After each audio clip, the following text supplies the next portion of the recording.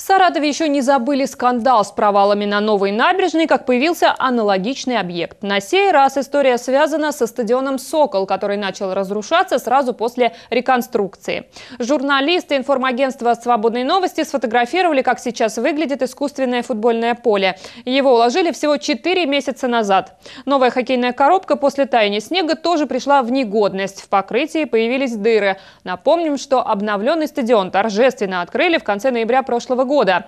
На искусственное покрытие с подогревом, новые зрительские места и освещение потратили больше 22 миллионов рублей. Сейчас все входы на стадион «Сокол» закрыты на замок. Охрана объясняет это ремонтными работами. Через прутья забора видно, что поплывший угол искусственного поля отмечен сигнальными лентами.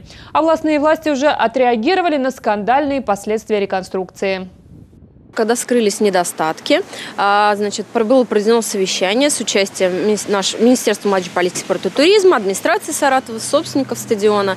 И было решено направить претензии а, подрядчикам, исполнителям работ. Такие претензии были направлены на 31 марта. Согласно контракту, они должны выявить недостатки, э, которые обнаружатся в течение 24 месяцев после производства работ. Вот, значит, подрядные организации а, претензии получили и в течение, в течение 30 дней должны дать свой ответ.